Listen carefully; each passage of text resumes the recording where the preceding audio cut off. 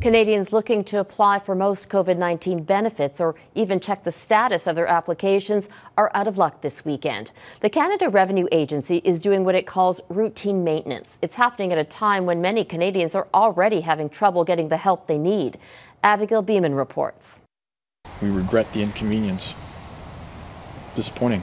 Jordan Rago was getting the CERB. Now he's applied for the new Canada Recovery Benefit. The application process opened Monday and he's had no luck, just an error message. It doesn't provide me any information as to why I'm ineligible. Uh, there is not even a follow up from that error message that's provided to applicants who apply online, uh, where, you know, what the next steps are, if they have to call, which department to call. Um, and yes, uh, from what I understand, uh, I am eligible. He's dealt with dropped calls and long wait times, and he's not alone. Hundreds posting their frustrations with the system in this Facebook group. Making things worse, no one can apply for any of the three new benefits right now. The CRA site and phones down for a full weekend for routine system maintenance.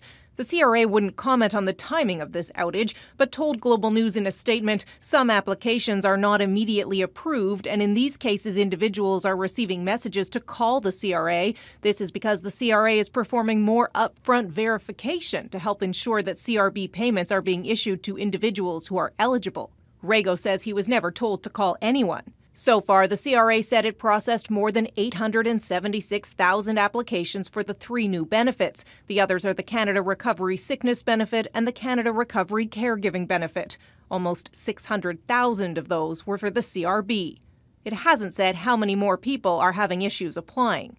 If they had extended CERB at least until after the scheduled maintenance, the people who right now are calling in trying to get a hold can't get a hold of anyone while they are worried about being able to keep food on the table being able to pay for rent you know this is totally unacceptable opposition mps say they've been getting lots of calls and emails too the conservatives blame the liberals for proroguing parliament delaying the process we would have had at least six additional weeks to beta test make sure we had all these programs but as it was. Unfortunately, the government put the civil service in a very difficult position, and that has left Canadians behind.